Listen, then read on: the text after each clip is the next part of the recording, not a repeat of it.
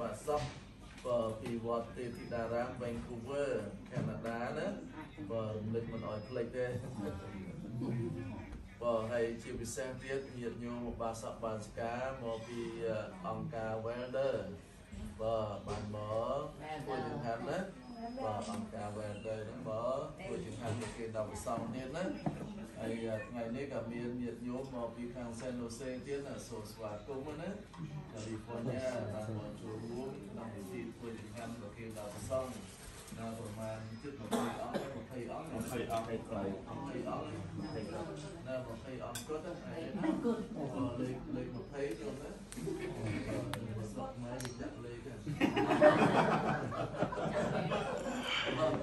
អឺ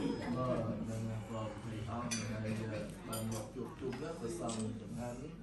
ហើយថ្ងៃនេះក៏សូមស្វាគមន៍គុណចាស់កៃសុភាដែរដែលលោកបាននិមន្តមកដែលកាន់វត្តវិសារាមហើយពីថ្ងៃសៅរ៍កន្លងហើយថ្ងៃសៅរ៍ទី11ខែសុភាដែលញាតិញោមទៅអាត្មាទៅ Wisconsin គឺទៅ graduate លោកក៏ទៅអបអរសាទរលោកបានរៀនបញ្ចប់ថ្នាក់អនុបណ្ឌិតក៏ Master នៅនៅ Wisconsin University ក៏បានដែលមានសិស្សនិស្សិតប្រមាណហើយជា8គ្រាន់រូប8គ្រាន់រូបនៅក្នុង stadium ហ្នឹងហើយមនុស្សរាប់ម៉ឺននាក់បានទៅអបអរសាទរក្នុងពិធីបញ្ចប់ថ្នាក់និស្សិតក៏ដល់8000ជាងណា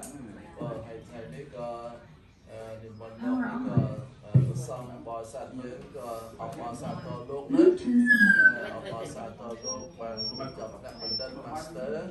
នៅក្នុងឆ្នាំ2024នេះដែល